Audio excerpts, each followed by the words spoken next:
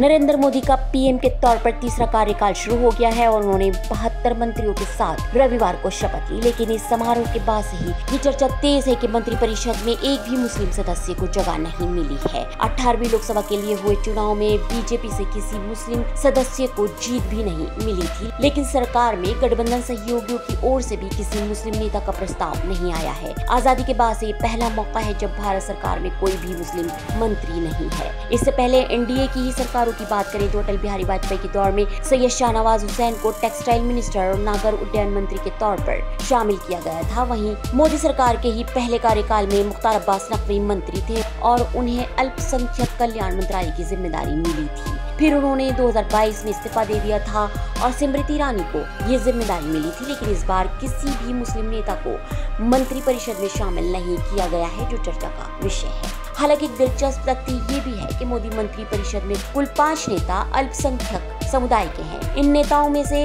हरदीप सिंह पुरी और रवनीत सिंह बिट्टू हैं, जो सिख समुदाय से आते हैं। इसके अलावा रामदास उठावले और किरण रिजिजू बौद्ध धर्म के अनुयायी हैं। वहीं केरल से आने वाले जॉर्ज कुरियन ईसाई समुदाय के हैं। बता दें कि इन मंत्रियों में से रवनीत सिंह, बिट्टू किसी भी सदन के सदस्य नहीं है। वो लोकसभा चुनाव में हार गए थे। वही जॉर्ज कुरियन ने तो चुनाव ही नहीं लड़ा। माना जा रहा है की पार्टी उन्हें अब राज्यसभा के रास्ते संसद भेजेगी। वो केरल में बीजेपी के महासचिव। आमतौर पर कोई न कोई मुस्लिम समुदाय का नेता मंत्री बनता रहा है। ऐसे में इस बार की मंत्री परिषद पर सवाल उठाए जा रहे हैं। यही नहीं, उमर अब्दुल्ला ने तो ये तक कह दिया था कि ये मुस्लिम मुक्त एनडीए सरकार है। गौरतलब है कि इस बार लोकसभा में अलग अलग पार्टियों से कुल 24 मुस्लिम सांसद चुनकर पहुँचे हैं। इनमें से तीन असदुद्दीन अवेसी की party A I M I M से ही है। Bureau report S news